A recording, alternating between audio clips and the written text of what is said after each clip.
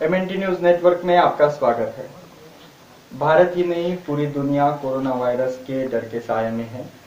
यह वायरस दुनिया के एक सौ पंचानवे से ज़्यादा देशों में फैल चुका है और इसलिए पूरी दुनिया डरी हुई है, लोग डरे हुए। भारत सरकार ने भी इस वायरस से निपटने के लिए 21 दिनों का लॉकडाउन घोषित किया है। और ये लॉकडाउन घोषित करने के साथ ही लोग डर के साये में है, संभ्रम की स्थिति में है। भारत में काफ़ी सारे मजदूर गरीब महिलाएँ बच्चे बूढ़े और बीमार लोग इस लॉकडाउन की वजह से समस्या में है संभ्रम की स्थिति में है। मैडम आपका बहुत बहुत स्वागत है एमएनटी न्यूज़ नेटवर्क में। धन्यवाद। ये जो कोरोना वायरस की वजह से जो लोगों में अभी एक डर है या लोग पूरी तरह से घरों में बंद हैं तो इसमें ज़्यादातर जो लोग हैं वो गरीब मजदूर या बच्चे महिला बूढ़े बीमार इस प्रकार के लोग देश में ज़्यादा है। और अभी अभी जो डब्ल्यू एच ओ है आ, आ, उसके निदेशक का भी एक स्टेटमेंट आया था कि लॉकडाउन की वजह से ही कोरोना वायरस चला जाएगा ऐसा नहीं है। तो इस दौरान जो समय मिल रहा है उस समय के तहत कुछ स्वास्थ्य सुविधा को लेकर कुछ काम करना चाहिए उसको मजबूती करनी चाहिए इस प्रकार के उनके बयान आ रहे हैं। तो मैं आपसे जानना चाहूँगा कि ये जो स्वास्थ्य सुविधा है हमारी, देश की मौजूदा स्वास्थ्य सुविधा है उस स्वास्थ्य सुविधा के ऊपर किस प्रकार का दबाव निर्माण हो रहा है? किस प्रकार की समस्याएँ उनके सामने है? पहले तो मैं ये बता दूँ कि देश में जिस अनुपात में स्वास्थ्य सुविधा चाहिए, वो अभी पर्याप्त नहीं है। और जैसे मेडिकल इमरजेंसी टाइप जो स्थिति देश में उत्पन्न हुई है। इसके लिए सरकार के पास कोई मैप नहीं है, ऐसा कि वो कौन से लोगों को कैसे सुविधा दे। बात यह है कि लॉकडाउन करने से कुछ समस्या खत्म हो सकती है कि लोगों को संक्रमण से बचाया जा सकता है। लेकिन इससे दूसरी दूसरी जो स्थिति है उससे निपटाया नहीं जा सकता। लॉकडाउन करने से पहले देश के सभी रा, राज्य सरकारें और केंद्र सरकार ने ये सोचना चाहिए था कि लोगों को कुछ समय दे दो दिन दे ताकि वो घर में अनाज अपना ले आए पर्याप्त तो जो दवा है वो ले आए। कोई मेडिकल ट्रीटमेंट उनको चाहिए तो परामर्श कर ले लेकिन ऐसा हुआ नहीं। दूसरी बात की देश देश में पहले से दबाव है जनसंख्या इतनी से ज़्यादा है स्वास्थ्य सुविधा उतनी नहीं है। जो प्राइवेट है, वो तो उनका बिज़नेस है। वो ये नहीं देखते कि लोग मर रहे हैं या उनकी मॉरलिटी खत्म हो जाती है। आप देखेंगे कई बार ऐसा आता है कि शव के बदले में पैसे मांगते हैं उनके पास पैसे नहीं होते। तो ये समस्या हमेशा रहेगी, लेकिन हम जैसे अभी लॉकडाउन से दूसरी समस्या आएँगे। जैसे जो बूढ़े लोग हैं उनको डायबिटिक है, उनको दवाएँ कैसे मुहैया कराएँगे?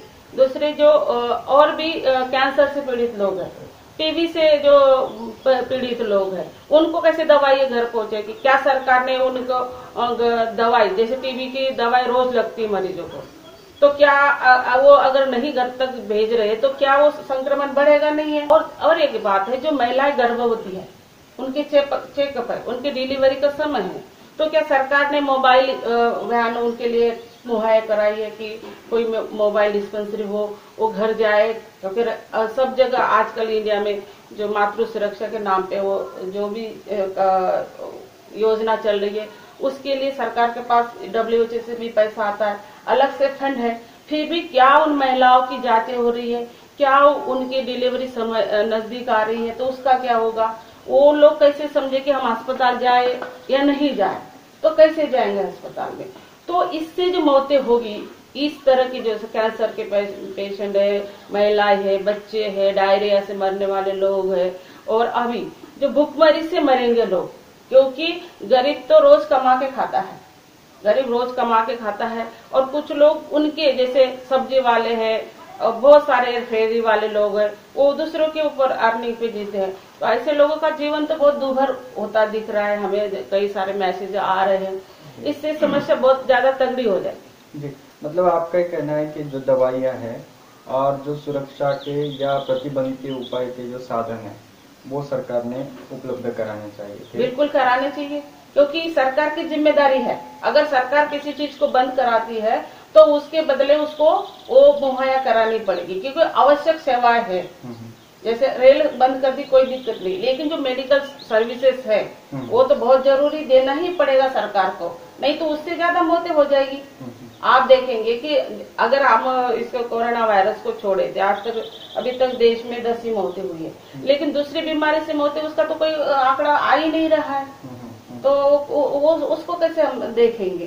तो सर- सभी को और ये जो जैसे मोबाइल डिस्पेंसरी है हम्म, जो ज, सरकार ने वैन बनानी चाहिए मोबाइल उसमें डॉक्टर्स हो पैरामेडिकल स्टाफ हो हम्म। मरीज़ का बीपी नापे शुगर नापे उनको दवाइयाँ मुह- मुहैया करें टीबी की दवाइयाँ घर में घर घर पहुँच जाए तब जाके ये कैंसर की दवाई। घर पहुँच जाए या कोई सेंटर ऐसे बनाना चाहिए कि वो उन्हीं की उसी एरिया में लोगों को वो सुविधा मिले दवाई मिले तब जाके नहीं तो एक को बचाने के लिए दूसरे दूसरे के गिरफ्त में आ रहे हैं हम लोग इस तरफ़ सरकार को बहुत ज़रूरी ध्यान देना चाहिए अपनी मशीनरी को लगाना चाहिए। ये अगर मेडि, मेडिकली आपात है मतलब तो इमरजेंसी है तो उसको दूसरे भी ऐसे हम मरने के लिए नहीं छोड़ सकते दूसरे बीमार लोगों को। अच्छा मैडम हम आपसे जानना चाहेंगे कि जो गरीब है जैसे मैडम ने कहा गरीब है महिलाओं की समस्याएँ हैं और सफ़ाई का एक बहुत बड़ा हिस्सा है तो ये महिलाएँ बच्चे या सफ़ाई कर्मी गरीब ये लोगों के सामने कौन सी समस्या हो सकती है जिसके ऊपर हम सब लोगों को ध्यान देना चाहिए? जैसे कि हम देखते हैं, पता है कि पूरे देश में जो शहर है, शहरों में चालीस प्रतिशत से ज़्यादा लोग झुग्गी झोपड़ियों में रहते हैं। अब जो झुग्गी झोपड़ियों में रहने वाले जो लोग हैं हाँ वो दस बाय दस के छोटे से कमरे में रहते हैं। अब इतने से छोटे से घर में अभी डेली वेजेस वाले लोग हैं वो अभी काम पे नहीं जा रहे उनको काम नहीं है क्योंकि अभी जो ठे, उनका ठेला है वो नहीं लग रहा है या फिर कोई भी जो काम कर रहे मतलब घर घर काम करने वाली जो महिलाएँ थी वो घर पे बैठी हैं। हम्म, यहाँ तक कि उनके बच्चे भी अभी स्कूल बंद होने के लिए घर है। तब दस बाय दस के घर में जिसमें वहीं पर उनका किचन है वहीं पर उनका बेडरूम है जो भी गए उसी में और उसी में कैद कर दिया है उनको। अभी बच्चे बाकी परेशानी उनको हो रही है। दूसरी बात मिडिल क्लास जो था तो उन्होंने तो जैसे मतलब आपातकाल की या फिर इमरजेंसी बता दिया कि भाई इक्कीस दिन हमें घर में ही रहना तो उन्होंने राशन भर, भर लिया है। लेकिन क्या जिनका अ, हर दिन कमाना और दस रुपए का तेल लाकर खाना है या फिर आधा किलो चावल लाकर खाने वाले लोग हैं जो कि मेजोरिटी में उनके बारे में सरकार ने सोचा है। जो बीपीएल अंडर बीपीएल है उनके लिए कि हम भाई दो महीने का एक महीने का राशन एक ये सब योजना बनाने से पहले या फिर घोषणा करने से पहले उनको दो दिन वक्त देते और एक महीने का राशन उनके घर पर पहुँच देते, लेकिन ऐसा नहीं हुआ। तो अब ये लोग क्या करेंगे? दूसरी सबसे बड़ी जो समस्या आ रही है, महँगाई तुरंत बढ़ गई। जैसे हम देखें कल परसों की बात है तो बीस रुपए किलो वाला टोमेटो अभी डेढ़ सौ रुपए में बिक रहा है। तो अभी वो खाएँगे क्या? हाँ एक तो कम डेली लाने वाले दूसरा उनके पास मिल नहीं रहा तो वो एक सबसे बड़ी दिक्कत उनकी हो रही है। और बहुत सारी चीज़ें मतलब घर में झगड़े एक तरह से हो रहे क्योंकि सब पैसे ही नहीं है, दूसरा काम नहीं है, और घर में कैद है। तो वो फ्रस्ट्रेशन सबका निकल आएगा तो घर में झगड़े भी उसकी वजह से हो सकते हैं। और जैसे तब क्योंकि एक ही घर में कैद रहेंगे तो उनको बात करने के लिए बस्ती में तो अंदर अंदर तो लोग निकल रहे क्योंकि इतने अंदर तो पुलिस नहीं जा रही है।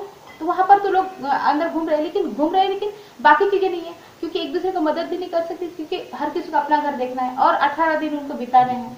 तो एक सबसे बड़ी समस्या उनके सामने कि वो अपना हर दिन का गुजारा कैसे करें? सुनीता मैडम मैं आपसे पूछना चाहूँगा कि ये जो समय है अभी इक्कीस दिनों का समय है उसमें से दो तीन दिन अभी चले गए हैं तो ये बचे हुए दिन हैं इसमें क्या होना चाहिए लोगों की तरफ़ से सरकार की तरफ़ से इस वायरस को आ, उसको संक्रमित नहीं हो ज़्यादा? इसके लिए लोग अपनी तरफ़ से क्या क्या कर सकते हैं सरकार की तरफ़ से क्या किया जाना चाहिए? लोगों ने खुद अपना ध्यान रखना चाहिए। दूसरी बात जो साफ़ सफ़ाई है उसका बहुत ज़रूरी है। दूसरे बाहर से जो लोग आने वाले हैं या कुछ ये सामान लेके जा लेने जा रहे हैं इन लोगों को अपने हा, जो हाथ है बहुत अच्छी तरह से वॉश करने हैं। दूसरा कि कहीं भी बाहर जाए तो टच नहीं करे मतलब छुए नहीं चीज़ों को। पैनिक नहीं होना चाहिए। घर में रह के पैनिक नहीं होना चाहिए। जैसे कि बहुत सारे देश संकट में आए जैसे जापान आया तो वो वो बुद्धिस्ट देश थे उन्होंने अपने ऊपर कंट्रोल कर लिया। और उस उससे बाहर निकलने की कोशिशें करी। उस उस जीवन को एंजॉय करने का उन्होंने ठाना। वो दर्द को कम करने की कोशिश करी। तो हमारे लोगों को भी ये ऐसा करना चाहिए। हम्म, सरकार को चाहिए कि जो चीज़ें सरकार दे सकती है हम्म, और जो स्वयं सेवी संस्था है वो भी उन लोगों के घर अनाज पहुँचाए खाना पहुँचाए जो जिस माँ के वैसे दूध नहीं आता तो उनके बच्चों को दूध चाहिए। तो बहुत ज़रूरी चीज़ है सरकार ने ये काम करना चाहिए। सरकार ये तो कर रही है कि हाँ वो नहीं होना चाहिए कि फैलने नहीं इसीलिए। लेकिन ये अकेला इलाज नहीं इसका हम्म, कि घरों में बंद करना है। ये अकेला इलाज नहीं है। वो जो सफ़ाई कर्मचारी जो रोड लोग रोड पे है उनकी क्या सुरक्षा है?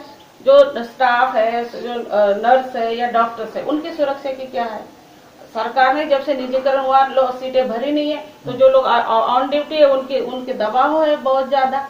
उनका परिवार के पास वो मतलब जा नहीं रही। सरकार की जो व्यवस्था है पूरी तरह से निजी क्षेत्र पर निर्भर है निजी हाँ निजी क्षेत्र पे निर्भर है। निजी क्षेत्र हमेशा मनमानी करता है। हम्म, क्योंकि इंडिया में निजी क्षेत्र की कोई मॉरलिटी है ही नहीं है। ये लोग टोटली बिजनेसमैन है।